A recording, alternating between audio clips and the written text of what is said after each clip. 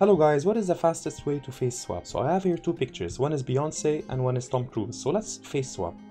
Let's get the lasso tool and select only this part of Beyonce's face.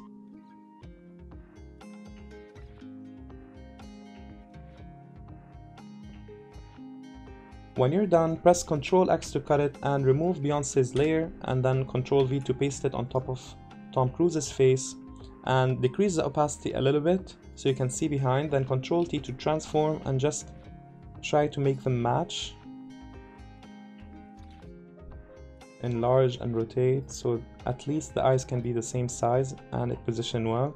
I think this works. So hold control and press on the box and then remove the visibility of Beyonce's face and go to Tom Cruise's face and control X to cut it and then bring back Beyonce and increase the opacity then you press Ctrl T to transform and holding Alt enlarge it slightly. So when you remove the opacity you can see they're overlapping slightly from here. And that's very much needed when you want to blend them well. So put the opacity back and then press on layer 2 shift layer 1 and then go to edit.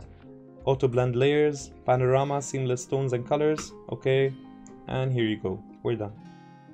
So if you want to do more you can always merge the layers and get the healing tool and hold alt and click the place you want to blend and just blend it. And then do it again. Keep doing it for every part.